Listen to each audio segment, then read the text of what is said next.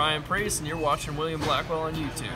All right, today's race at New Hampshire was pretty good, actually. Even though my driver, Clint Bowyer, finished 19th, it was still a good race. Uh, a Stewart-Haas car finally got the victory lane. Kevin Harvick was pretty quiet most of the day, you can say, until the very end when Rodney Childers decided to stay out and not pit while everyone else went in and took two tires. And the leader of that pack was Denny Hamlin, who finished second. But Harvick didn't have the win given to him.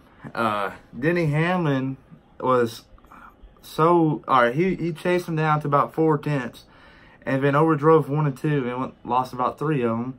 So he had about seven tenths back and then, then so two to go, they caught a, a pack of three cars and Hamlin passed them technically in a three and four, but Harvick got to run off, and then Harvick won the race.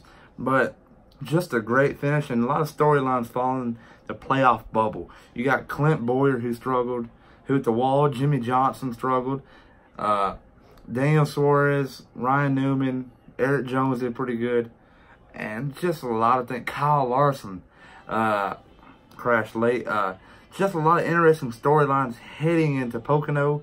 And quite frankly, I think it's going to get more interesting. And who knows what's going to happen at Pocono. Uh, maybe we'll see another winner. If not, I don't know. We're having a pick five contest this week. Later, the video will be later on tonight.